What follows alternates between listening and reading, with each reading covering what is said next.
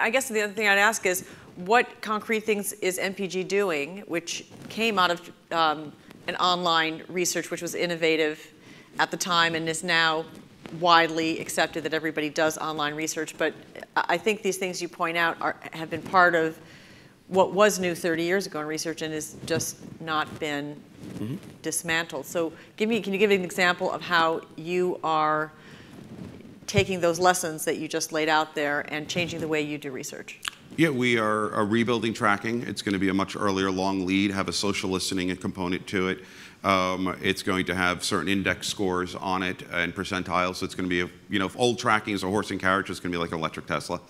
Um, we're going to, we're changing the measures on our testing of ads. We're changing the measures on our screenings and our content evaluation, which is much earlier on out which is really sort of bringing to bear a combination of archetypes and, and what moviegoers want are, are is helping mitigate risk at earlier stages.